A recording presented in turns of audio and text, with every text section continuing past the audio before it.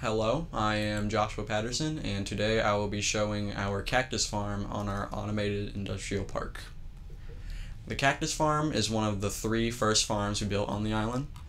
Uh, this farm composes of three separate levels, which I created the first primary level, and then I was assisted by Dalton to create the other two levels so it would be more efficient.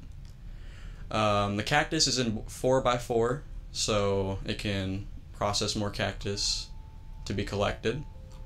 Uh, once the cactus is planted, it doesn't need to be replanted.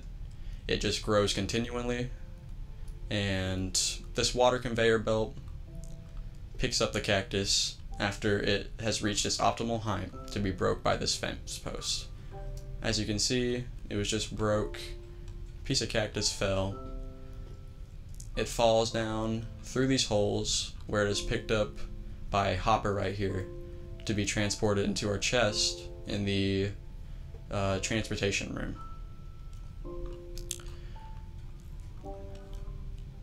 Um, here it is down here.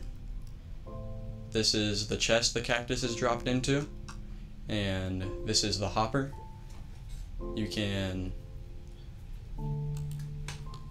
you can see the cactus inside the chest. There's plenty of it. This is the hopper with the cactus filled in it.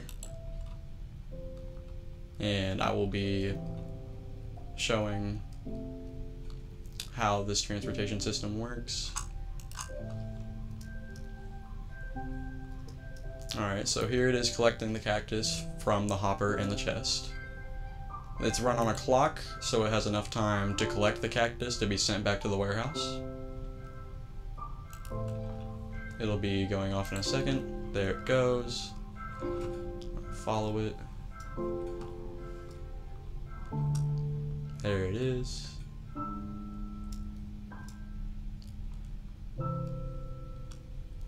Here is its collection system. It is also ran on a clock, so it gives it enough time to drop off the cactus into the chest.